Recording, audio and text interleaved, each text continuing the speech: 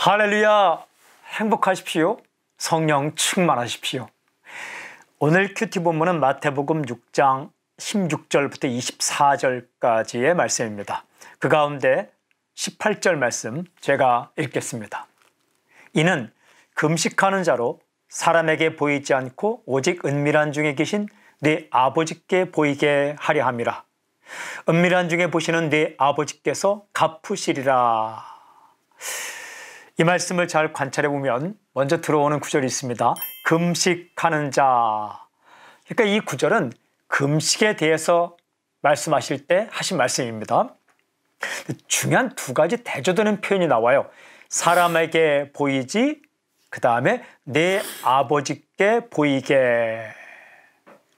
그러니까 사람도 보고 있고 하나님도 보고 계시는 거죠. 그런데 사람에게만 보이려고 금식해서는 안 된다라는 말씀입니다. 금식하는 것은 좋은 것입니다. 먹는 것까지 끊고 하나님을 생각하고 하나님께 기도하는 것 얼마나 좋습니까? 그런데 그 금식하는 게 참 좋은 건데 나는 금식하고 있습니다. 라는 사실을 사람에게만 보이려고 티를 내려고 해서는 안 된다라는 겁니다. 오히려 얼굴을 깨끗이 씻고 단장을 하라고 말씀하시죠. 왜 그렇습니까? 이렇게 기록되어 있어요.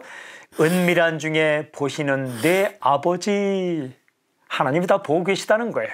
다 알고 계십니다. 그 사람들은 몰라줘도 하나님은 아시니까 하나님 앞에서 금식하라라는 말씀입니다. 하나님께서 어떻게 하십니까? 이렇게 기록되어 요 갚으시리라 하나님께서 갚아주신다. 티를 내지 않아도 갚아주신다. 이런 생각이 들었습니다. 아, 하나님 앞에 살아야 되겠구나. 사람들이 몰라줘도 하나님은 보고 계시니까 하나님 앞에서 살아야겠구나.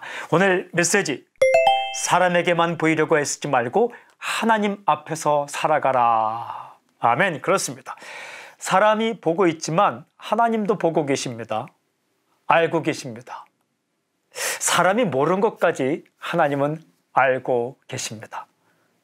남들 모르게 수고하고 애쓸 때가 있죠. 그럴 때 사람들이 몰라주면 어떻습니까? 서운합니다.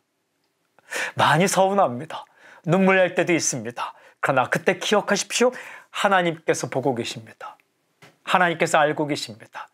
하나님께서 그 아름다운 행동에 대해서 갚아 주십니다. 선한 일을 포기하지 마십시오. 사람이 몰라준다고 그만두지 마십시오. 하나님 앞에서 행하시면 놀라운 사건이 일어날 것입니다. 오늘 적용 다 보시며 다 알고 계시는 하나님 앞에서 살아가게 해 주십시오. 그렇게 사십시오. 하나님 감사합니다. 하나님 앞에서, 하나님 앞에서, 하나님 앞에서 살아가게 해 주십시오. 예수님의 이름으로 기도합니다. 아멘.